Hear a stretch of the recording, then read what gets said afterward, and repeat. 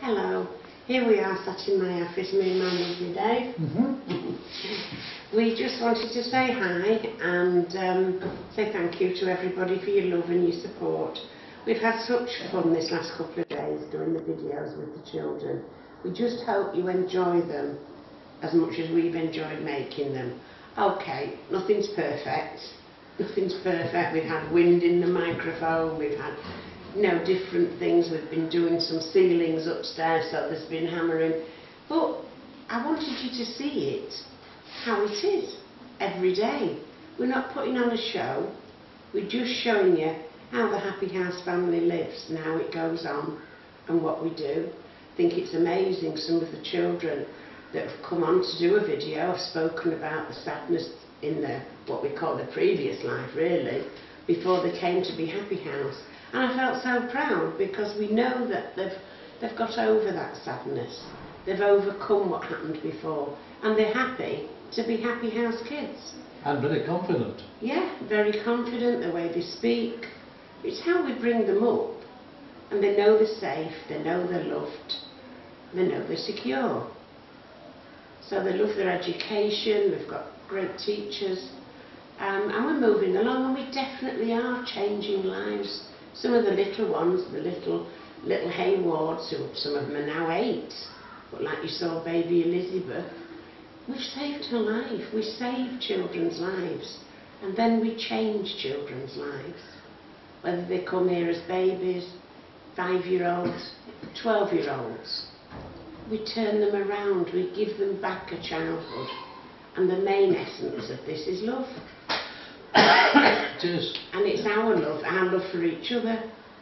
It's been a long road to the happy house. I'm always going to write a book, don't ask but it's a long, it's been a long road to the happy house, but it's been full of love and laughter.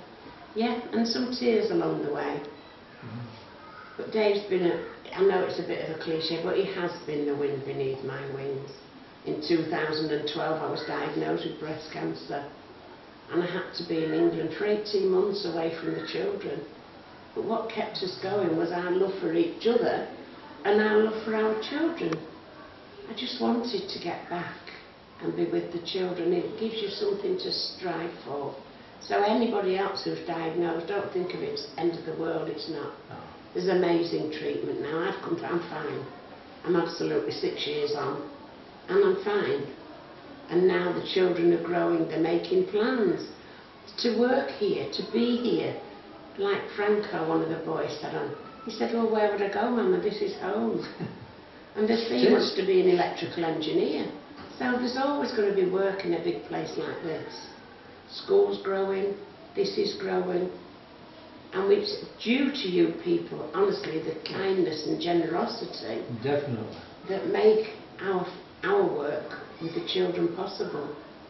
People say, oh, it's brilliant what you do, and, that. and we do budget very carefully. I've got good staff with Rose and Ronnie and Velma and the aunties who you've seen. I wanted you to meet people. This is why I've had this idea of doing these videos, for you to meet people, know who we are. We're not just a name on an email. We're here. We're happy and we're healthy and we're a very caring and loving family. So thank you. Thank you for everything. And we've got a very good team around us now, haven't we? Yeah. A Good team. And you know, it's our love that keeps everything together. So thank you. It, but it will move on. It will definitely move on this place. This is God's work. It's not. We're lucky it's been given to us, but it will. It will continue on. Definitely. So thank you for everything. Thank you. Once again, thank you.